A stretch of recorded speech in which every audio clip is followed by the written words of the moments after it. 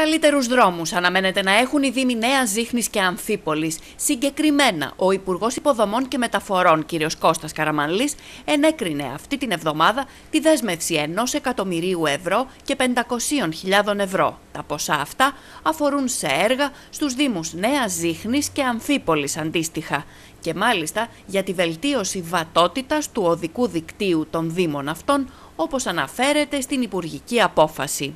Στόχος του Υπουργού κ. Κώστα Καραμαλή είναι να αποκατασταθεί το οδικό δίκτυο και να εξασφαλιστεί η οδική ασφάλεια τόσο των κατοίκων όσο και των επισκεπτών των δύο αυτών δήμων.